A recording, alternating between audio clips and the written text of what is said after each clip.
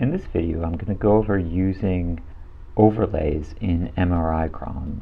And this video will be geared towards advanced students or researchers who are using MRIcron as a tool for studying the brain.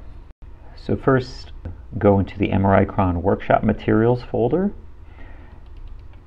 See the link in the description if you have not downloaded it already.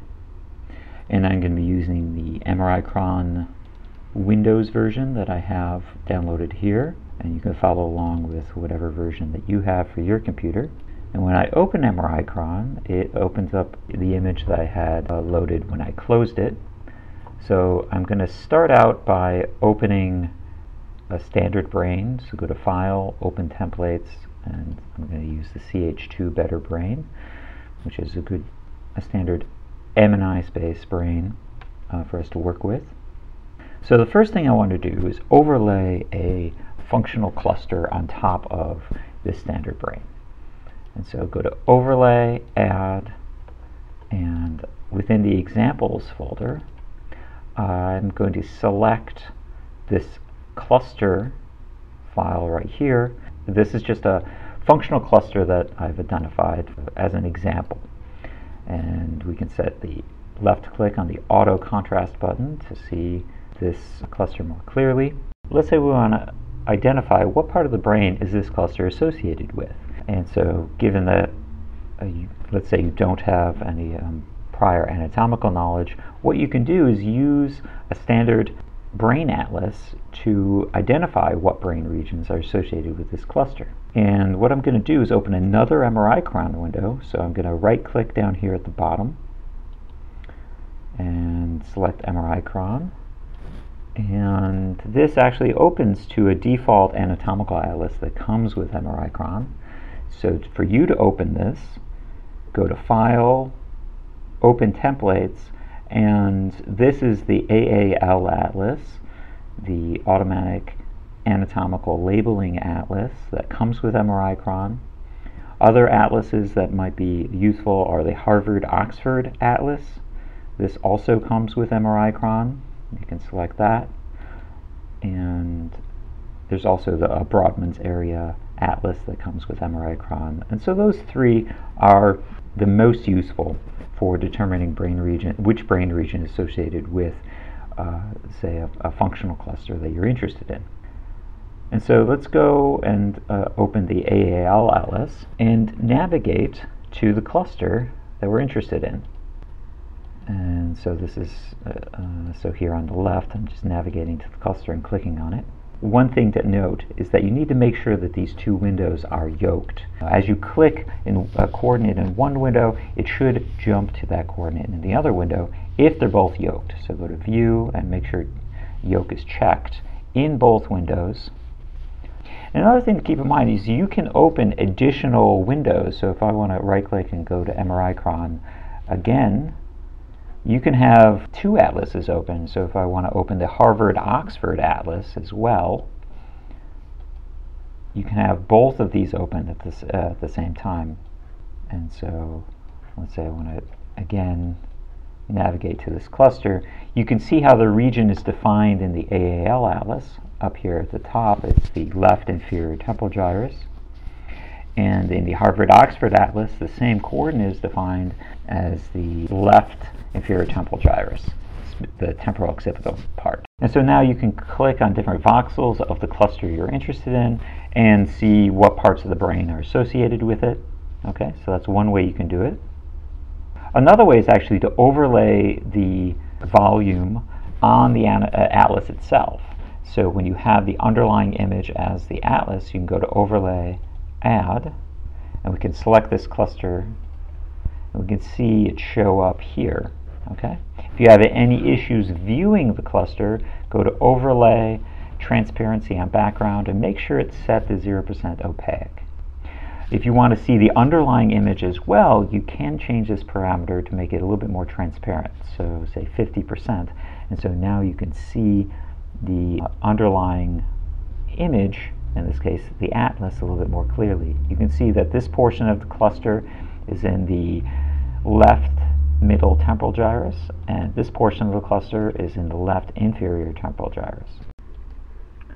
Still, another thing you can do in terms of overlaying a functional cluster on the atlas is to mask out all other regions to make it easier to see which parts of the brain are associated with your cluster. Do this, instead of using overlay, go to Draw, open VOI, and select the uh, neuroimaging format, and select the cluster in our workshop materials example folder. Click Open, and make sure that the transparency on background is set to opaque so you can more clearly see it. And what you can do is go to Draw, Mask Image with VOI, and Preserve Regions within VOI to get rid of all other parts of the brain. And so now when you go to Draw, Close VOI, what you see is uh, only the brain regions associated with your particular cluster. So you can click around on these different colors to identify, you know, say the left middle temporal gyrus, the uh, left inferior temporal gyrus, and a little bit here in the black of the left fusiform. Okay, so those are the only three regions that we can see. And so this is just one kind of tricky way to more you know, quickly identify what regions are associated with your cluster. But make sure not to save the, this underlying file, otherwise you might overwrite the, in this case, the AAL atlas. Okay, so finally I want to show you the materials that come with the workshop uh, materials that you've downloaded. And so we can go to File, Open, and we can navigate to these re this Research Atlases folder. And we can see that I've already put the AAL3 atlas, which is a more updated version of the AAL atlas.